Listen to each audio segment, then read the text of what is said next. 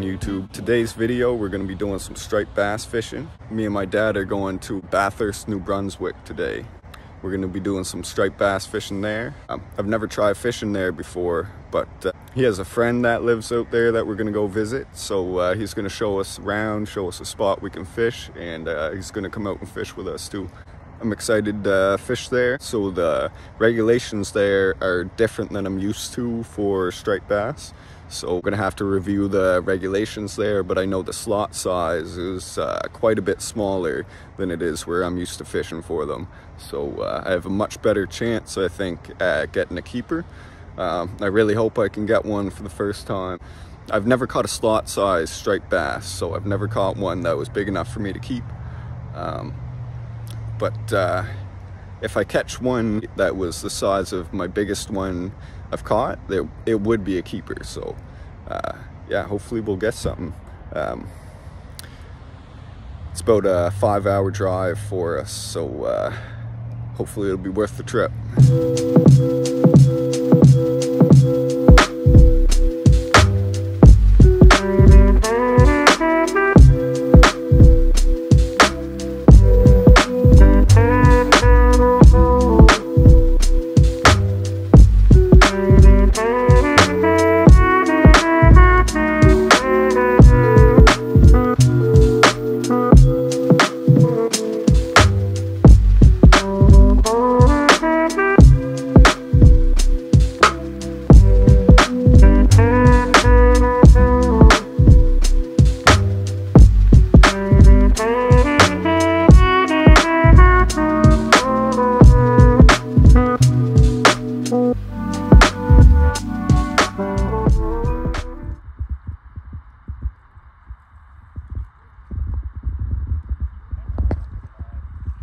crab.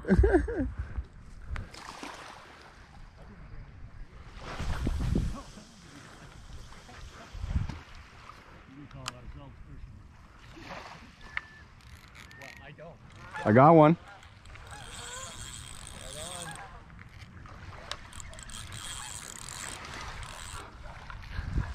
Oh, did I lose it? I think I lost it. Yeah. Was that you? No, that's another bass there. Ooh.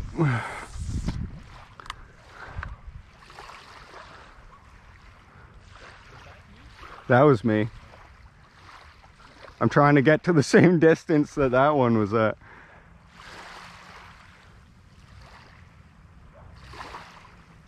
Really? Uh, yeah, he was. I just said you can't argue with results, eh? Oh wow. it's even bigger than the last one. Looks like it. Nice. I wish I got the cast on uh, on film too.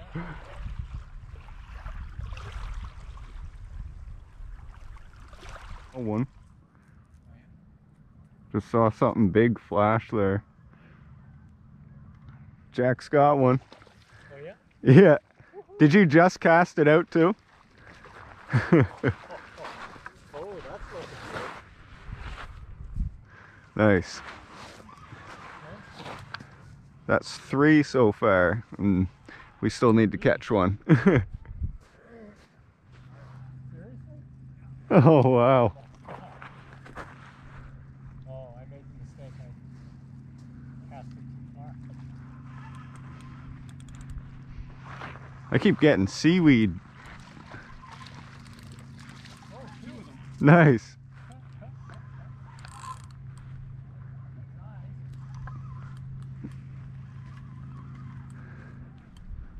That's five so far.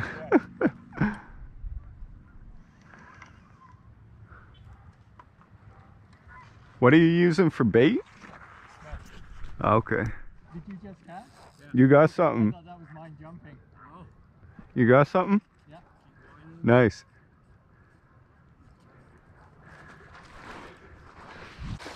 Nice. That's a big one. That's a big one. Yes. There you go. That's a keeper, I think. Oh yeah, that's huge. Uh, Do you got your measuring tape on? Uh, we got the stick. Oh yeah, pass the stick. Nice. All right. That line was minimum, right? What's that? The line is. You keep Got one. Oh yeah, like 20 feet from shore. There we go. All right, here we go. There's a nice little bass. How about you, What? You this? Uh, yeah. Oh, oh, careful. Uh, so where's the starting line? Start is here. It's between those two. Oh, no. It's under. That's probably like 17, 16.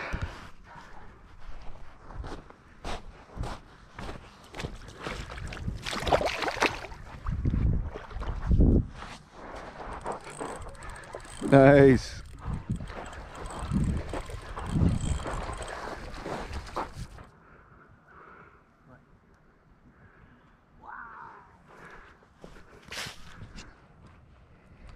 You got one on? Yep. Nice. Oh, I got one on too. I didn't even cast close this time. Whew. Oh yeah, this is crazy right now. Woo. Okay. This one's probably too small. Decent one though.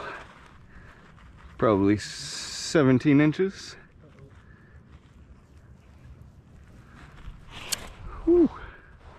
Noise.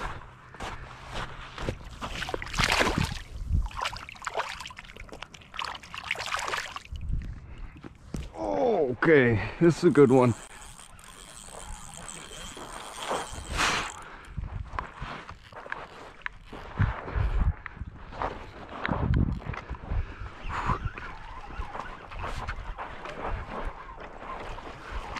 Oh yeah. Come on, personal best. Come on. Oh. Oh, that's my personal best. Oh my god. No way. Oh.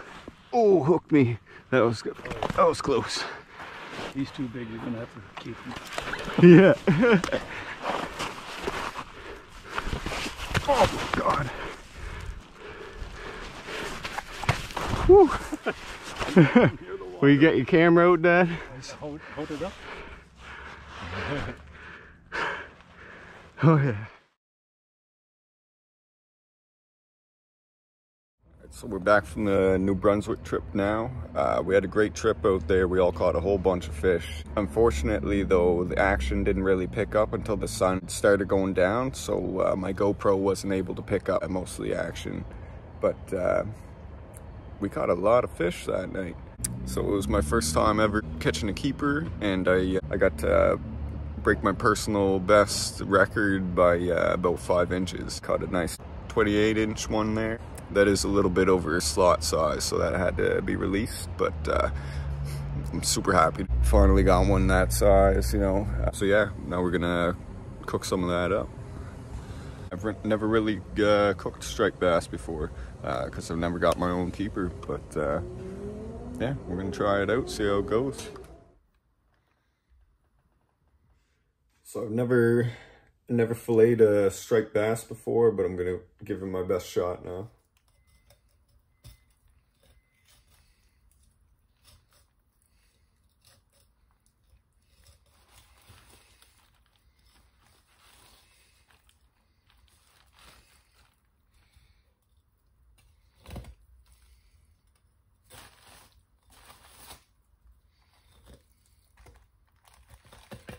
Alright. well, didn't get it all in one piece, but uh, got a nice big fillet here. So now I'm just making up a uh, sauce.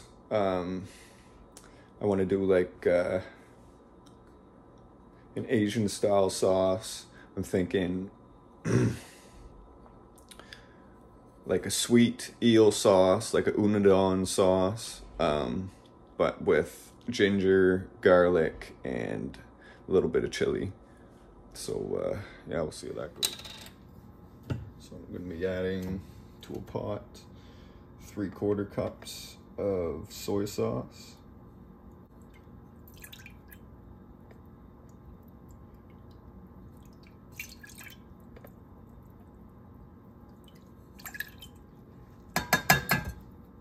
Now I'm gonna mix with that three quarter cups of sake, it's uh, rice wine.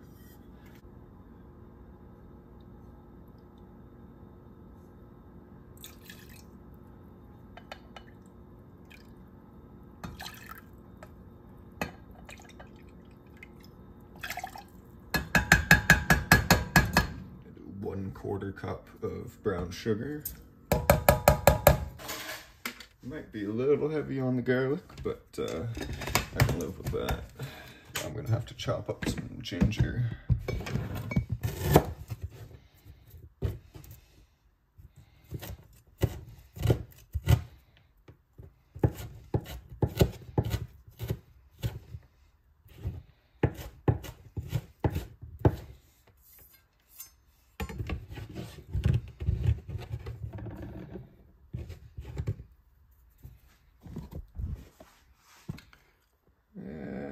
Do a little more ginger than that.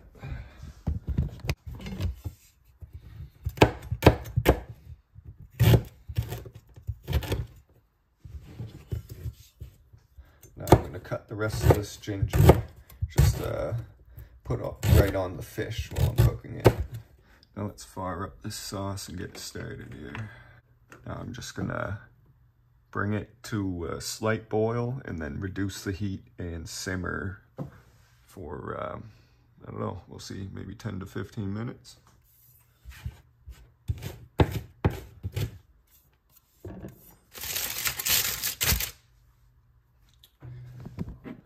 Now, first thing I'm gonna do with this filet here, um, I'm not gonna bother skinning it.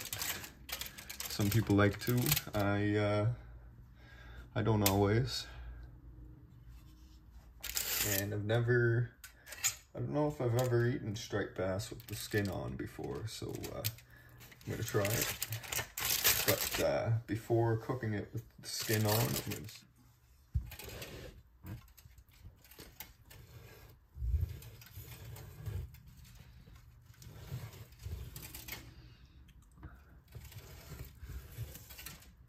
Now, I'm not sure if scoring the skin is necessary for this, but uh, I know with some fish, I know that with some fish, if you don't score the skin before you cook it, uh, when it cooks, the skin will just coil right up and uh, it'll really uh, make it hard to cook. And it'll ruin the shape of your fillet because it'll want to curl in on itself, right? So I'm gonna do this just to be safe. All right, now that this is coming to a nice simmer here, I'm gonna reduce the heat a bit. We'll try a low medium because uh, we don't want to burn the sauce. Right, so now that uh, we've got a nice simmer going and we've reduced the temperature, I'm gonna add a nice uh, nice pinch of chili flakes. Um, be careful how much you add because if you're sensitive to spicy food, you might want to use less than I did. I definitely enjoy spicy food, so uh, I added a healthy amount there.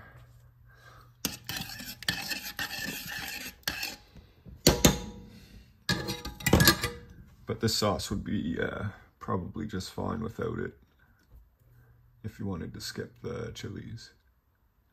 So this is what I added here, uh, just red crushed chilies. I think I've heard somebody say that you should cut the uh, red part out of the meat for the flavor. Um, I don't know if that's true from experience, so um, I'm not going to do that this time. And uh, see how that goes. yeah, I'll, I think I'll be the judge of that. If you see your sauce starting to boil, make sure you turn it down You don't want it to burn. Now I'm throwing some of the ginger and garlic on the fish. And then when the sauce is ready, we're gonna put some sauce on and bake it all in the oven.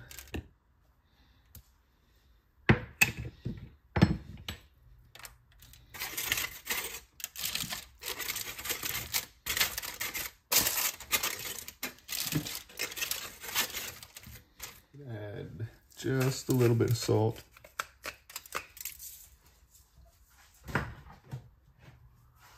And some ground pepper. Not too much. Hopefully it's not too late, but uh, I'm gonna add some uh, sesame oil. Yeah, almost forgot.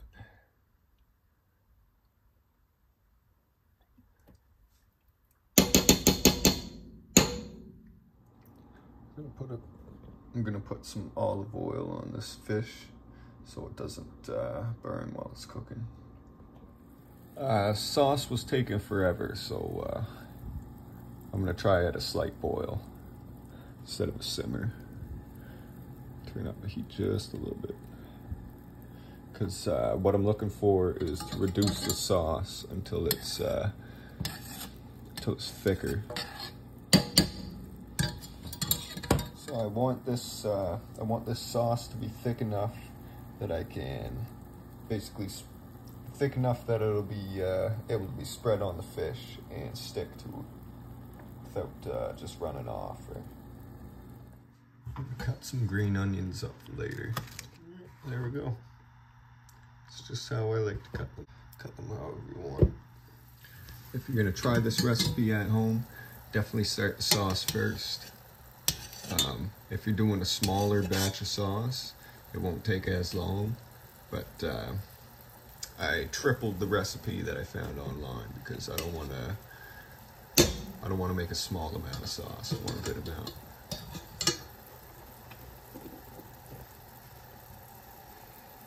Reduce the hell out of this sauce, so uh, should be nice and thick now. So I'm going to take this and spread it on the fish.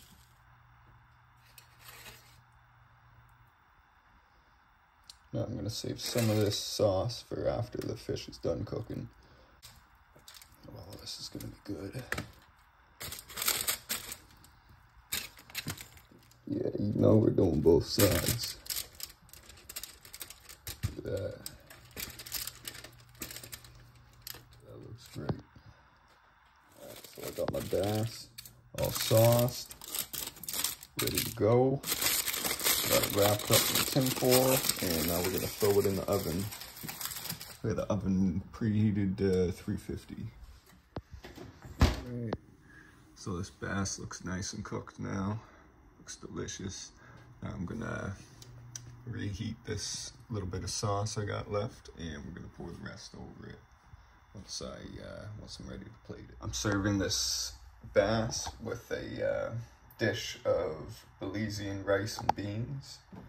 Now I'm gonna top it with my green onion. Just like that.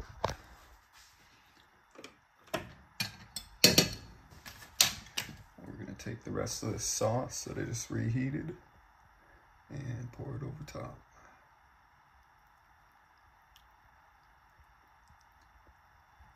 Yeah. That should be good.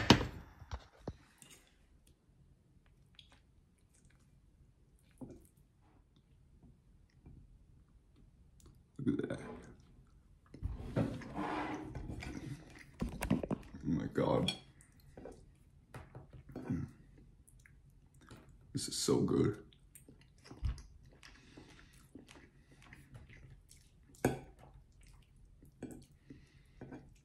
Yeah, this is really good.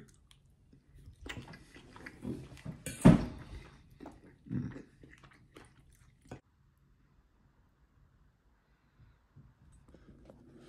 So I've been I've been trying for years to get a keeper striped bass. No exaggeration. I've literally been trying for at least two years, two seasons. Um, Yeah, this is a taste of success.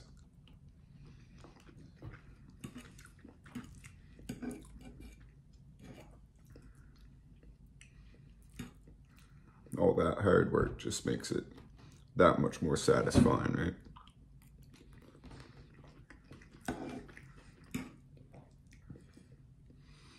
Mm. And there's so much meat to it too. This portion here is just um, half of the filet, and that was only one filet off of the fish. So it's, yeah, it's really good.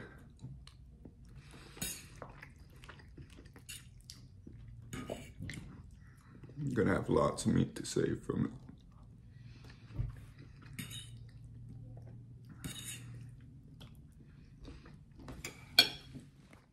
So that's it for today's video. I hope you guys liked it. Make sure you like and subscribe and leave some comments if you want to. If you want the recipe for uh, Belizean rice and beans, I can share that too. It's really good. One of my favorite rice dishes. Yeah, that's it for today. We'll see you in the next video.